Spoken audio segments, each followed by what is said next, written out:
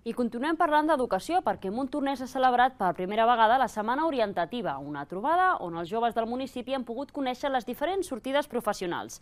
L'esdeveniment s'allargarà fins finals d'aquesta setmana i comptarà amb altres activitats com xerrades orientatives per estudiar, per exemple, a l'estranger. L'Ona Castellsaguer va decidir començar a opositar per ser bombera amb 30 anys. Després d'un canvi de carrera universitària, un grau superior d'esports i un màster en educació, va treballar durant 4 anys com a professora d'educació física. Tot i això, es va donar que no la motivava suficient i amb 30 anys va decidir reencaminar la seva carrera professional per ser bombera. Avui explica la seva experiència als alumnes de quart de l'ESO, PTT, primer de batxillerat i primer dels cicles als instituts de Montornès al Teatre Margarida Xirgo. Personalment em va costar molt trobar eh, què volia fer, però no he deixat mai de, de fer coses, sigui estudiar, sigui treballar, de coses molt diferents. Llavors vas veient què t'agrada, què no t'agrada tant, què se't dona millor, pitjor.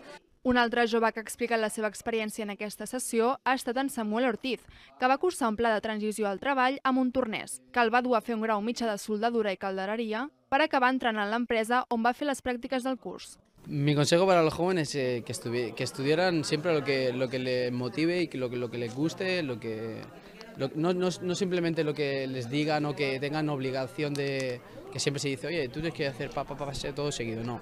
Aquesta trobada dona el tret de sortida a la setmana orientativa que l'Ajuntament de Montornès, juntament amb els instituts del municipi, han organitzat a partir de les inquietuds i necessitats dels joves per encarar el seu futur professional. Volíem això, doncs, concentrar en una setmana, no? posar de relleu i sobretot oferir aquest, aquests intercanvis directes entre joves que han ja tingut una, uns itineraris educatius no? i una experiència laboral, posar-los en contacte amb els joves. La idea d'avui no era que surtis d'aquí amb, la, amb un itinerari formatiu objectiu concret, no? Avui sortiré d'aquí estudiant aquest cicle, sinó que aquesta reflexió, no? com que és important estudiar el que et motiva, eh, espero que hagin sortit no? amb, amb aquestes reflexions. No? Fins a finals de setmana, el programa comptarà amb altres activitats, des de xerrades de professionals a diversos sectors o com estudiar a l'estranger, fins a tallers pensats per joves i familiars.